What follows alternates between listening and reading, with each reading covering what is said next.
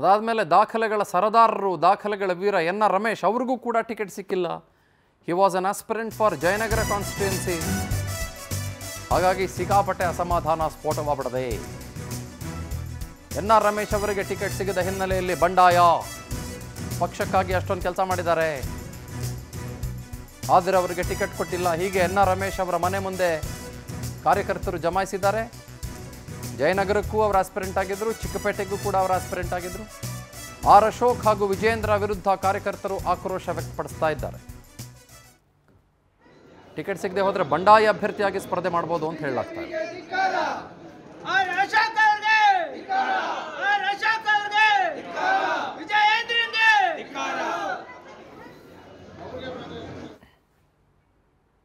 ಸಹಜ ಈ ಥರದ ಬಂಡಾಯಗಳು ಎಲ್ಲ ಪಾರ್ಟಿಗಳಲ್ಲೂ ಆಗ್ತವೆ. ಬಿ ಜೆ ಪಿಯಲ್ಲಿ ಒಂದು ಸ್ವಲ್ಪ ಜಾಸ್ತಿ ಆಗುತ್ತೆ. ರಾಘವೇಂದ್ರ ಮಾತನಾಡ್ತಾರೆ, ಡೀಟೇಲ್ಸ್ ಕೊಡ್ತಾರೆ. ಇದ್ರ ಬಗ್ಗೆ ರಾಘವೇಂದ್ರ, ಹೈಕಮಾಂಡ್ನ ನಿಲುವು ಒಂದು ಕಡೆ ಮತ್ತು ಇಲ್ಲಿರುವ ಸ್ಥಳೀಯ ಮಟ್ಟದ ನಾಯಕರು ಶಿಫಾರಸು ಮಾಡಿರೋದು ಒಂದು ಕಡೆ. ಹೀಗಿರುವಾಗ ಯಾರು ಯಾವ ನಿಲುವಿಗೆ ಬಂದರು ಅನ್ನೋದು ನಮ್ಮಿಂದ ಹಿಡಿದು ಟಿಕೆಟ್ ಯಾರಿಗೆ ಸಿಗ್ತು, ಟಿಕೆಟ್ ಯಾರಿಗೆ ಸಿಗಲಿಲ್ಲ, ಅವ್ರಿಗೂ ಕೂಡ ಲಾಸ್ಟ್ ಮೊಮೆಂಟ್ವರೆಗೂ ಕೂಡ ಕನ್ಫ್ಯೂಷನ್ ಆಗೇ ಇತ್ತು, ಭಾಳ ದೊಡ್ಡ ಸಸ್ಪೆನ್ಸ್ ಆಗೇ ಇತ್ತು. ಈಗ ಬಂಡಾಯ ಆಗಿದೆ ಒಪ್ಕೊಳ್ಳೋಣ, ಬಹಳ ಸಂಜ ಬಹಳ ಕಾಮನ್ ಬಂಡಾಯ ಅದು. ಏನು ಮಾಡ್ತಾರೆ ಅದಕ್ಕೆ? ಬಿ ಜೆ ಪಿಯವ್ರದ್ದು ಹತ್ರ ಏನಾದರೂ ಪ್ಲ್ಯಾನ್ ಇದೆಯಾ? ಬೇರೆ ಏನಾದರೂ ಹುದ್ದೆ ಗಿದ್ದೆ ಕೊಟ್ಟು ಅಥವಾ ಬೇರೆ ಏನೋ ಥರ ಸಮಾಧಾನ ಮಾಡ್ತಾರಾ? ವಾಟ್ ಇಸ್ ಅ ಪ್ಲ್ಯಾನ್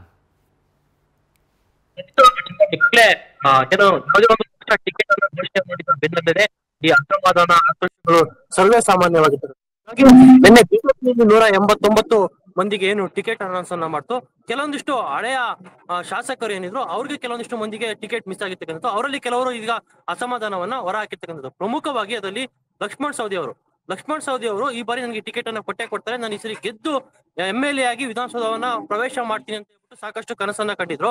ಆದ್ರೆ ಅಲ್ಲಿ ರಮೇಶ್ ಜಾರಕಿಹೊಳಿಗೆ ಹೈಕಮಾಂಡ್ ಕೊಟ್ಟಿರ್ತಕ್ಕಂತಹ ಮಾತಿನಂತೆ ಇದೀಗ ಮಹೇಶ್ ಕುಮಟಳ್ಳಿ, ರಮೇಶ್ ಜಾರಕಿಹೊಳಿ ಅವರ ಆಪ್ತರಾಗಿರ್ತಕ್ಕಂತಹ ಮಹೇಶ್ ಕುಮಟಳ್ಳಿ ಅವರಿಗೆ ಮಣೆ ಹಾಕಿರ್ತಕ್ಕಂಥದ್ದು.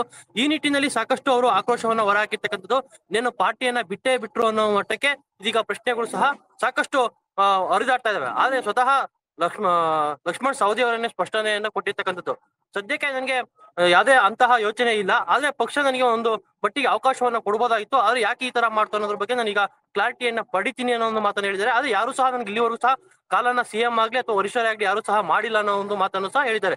ಅದೇ ರೀತಿ ಬೆಂಗಳೂರಿನ ವಿಷಯಕ್ಕೆ ಬಂದಿದ್ದಾದಲ್ಲಿ ಬೆಂಗಳೂರಿನಲ್ಲೂ ಸಹ ಮೂರ್ನಾಲ್ಕು ಕ್ಷೇತ್ರದಲ್ಲಿ ಸಾಕಷ್ಟು ಅಸಮಾಧಾನಗಳು ಎದ್ದಿರ್ತಕ್ಕಂಥದ್ದು. ಪ್ರಮುಖವಾಗಿ ಜಯನಗರದಲ್ಲಿ ಈ ಬಾರಿ ದಾಖಲೆಗಳ ಸರದಾರ ಅಂತಾನೆ ಕರ್ಸ್ಕೊಂಡಿರ್ತಕ್ಕಂತಹ ಎನ್ ಆರ್ ರಮೇಶ್ ಅವರು ಟಿಕೆಟ್ ಸಿಕ್ಕೇ ಸಿಗುತ್ತೆ ಅನ್ನೋ ಒಂದು ಮಾತನ್ನ ಹೇಳ್ಕೊಂಡ್ ಬರ್ತಾ ಇದ್ರು. ಅವ್ರಿಗೂ ಟಿಕೆಟ್ ಸಿಗುತ್ತೆ ಅನ್ನೋದು ಸಹ ಚಾಲ್ತಿಯಲ್ಲಿತ್ತು. ಆದ್ರೆ ಅಲ್ಲಿ ಸ್ವತಃ ಎನ್ ಆರ್ ರಮೇಶ್ ಅವರೇನೆ ಈಗ ಸುದ್ದಿಗೋಷ್ಠಿಯನ್ನ ಕರೆದು ನನಗೆ ಪಕ್ಷ ಈಗ ಆಶ್ವಾಸನೆಯನ್ನ ಕೊಟ್ಟಿದೆ. ಸಿಎಂ ಅವರು ಸಹ ಆಶ್ವಾಸನೆಯನ್ನ ಕೊಟ್ಟಿದ್ದಾರೆ. ನನಗೆ ಎರಡನೇ ಪಟ್ಟಿಯಲ್ಲಿ ಏನಾದ್ರೂ ಒಂದು ಚಾನ್ಸ್ ಸಿಗುವ ಸಾಧ್ಯತೆಗಳು ಇದಾವೆ ಅನ್ನೋ ಒಂದು ಮಾತನ್ನು ಸಹ ಹೇಳಿದ್ದಾರೆ. ಆದ್ರೆ ಅಲ್ಲಿ ಅಶೋಕ್ ಮತ್ತೆ ತೇಜಸ್ವಿ ಸೂರ್ಯ ವಿರುದ್ಧ ದೊಡ್ಡ ಮಟ್ಟದ ಆಕ್ರೋಶವನ್ನ ಹೊರಹಾಕಿದ್ದಾರೆ. ಇವರೇ ನನಗೆ ಪ್ರಮುಖವಾಗಿ ಟಿಕೆಟ್ ಅನ್ನ ತಪ್ಪಿಸೋದಕ್ಕೆ ಮೂಲ ಕಾರಣರು ಅಂತಾನು ಸಹ ಹೇಳಿರ್ತಕ್ಕಂಥದ್ದು. ಅದೇ ರೀತಿ ರಾಣಿಬೆನ್ನೂರಿನಲ್ಲಿ ಅರುಣ್ ಕುಮಾರ್ ಅವರ ಏನು ಆಡಳಿತ ವಿರೋಧಿ ಅಲೆ ಇತ್ತು. ಹೀಗಾಗಿ ನಮಗೆ ಟಿಕೆಟ್ ಅನ್ನ ಕೊಡ್ತಾರೆ ಅಂತ ಹೇಳ್ಬಿಟ್ಟು ಸಂತೋಷ್ ಪಾಟೀಲ್ ಅಂತ ಹೊಸ ಮುಖ ಸಾಕಷ್ಟು ಚಾಲ್ತಿಯಲ್ಲಿತ್ತು. ಆದ್ರೆ ಇದೀಗ ಅಲ್ಲೂ ಸಹ ಟಿಕೆಟ್ ಅನ್ನ ಕೊಟ್ಟಿಲ್ಲ. ಹೀಗಾಗಿ ಅಲ್ಲೂ ಸಹ ಸ್ವಲ್ಪ ಮಟ್ಟಿಗೆ ಅಸಮಾಧಾನ ಇದೆ. ಹೀಗಾಗಿ ಒಂದು ಒಂಬತ್ತರಿಂದ ಹತ್ತು ಕ್ಷೇತ್ರಗಳಲ್ಲಿ ಸ್ವಲ್ಪ ಮಟ್ಟಿಗೆ ಅಸಮಾಧಾನವಿದೆ. ಎಲ್ಲವನ್ನು ಸಹ ನಾವು ಸರಿ ಮಾಡ್ತೀವಿ. ಎಲ್ಲವೂ ಸಹ ವರಿಷ್ಠರ ತೀರ್ಮಾನದಂತೆ ಆಗಿರ್ತಕ್ಕಂಥದ್ದು ಅನ್ನೋದನ್ನ ಸ್ವತಃ ಸಿಎಂ ಬಸವರಾಜ ಬೊಮ್ಮಾಯಿ ಅವರು ಸಹ ಹೇಳ್ತಕ್ಕಂಥದ್ದು. ಹೀಗಾಗಿ ಬಿಜೆಪಿಯಲ್ಲಿ ಬಿಜೆಪಿ ಅಂದ್ರೆ ಶಿಸ್ತಿನ ಪಕ್ಷಕ್ಕೆ ಹೆಸರುವಾಸಿ ಆಗಿರ್ತಕ್ಕಂಥದ್ದು. ಹೀಗಾಗಿ ಇಂತಹ ಅಸಮಾಧಾನಗಳು ಸರ್ವೇ ಸಾಮಾನ್ಯ ಎಲ್ಲವನ್ನು ಸಹ ಸರಿ ಮಾಡಿಸಿ ನಾವು ಮುಂದೆ ನೂರ ಮೂವತ್ತು ಸೀಟ್ಗಳನ್ನ ಗೆಲ್ಲುವ ಮುಖಾಂತರ ಅಧಿಕಾರಕ್ಕೆ ಬರೋದೇ ನಮ್ಮ ಗುರಿ ಅಂತ ಹೇಳ್ಬಿಟ್ಟು ಕೆಲವು ಬಿಜೆಪಿ ನಾಯಕರು ಹೇಳ್ತಾ ಇರ್ತಕ್ಕಂಥದ್ದು ಚಂದನ್.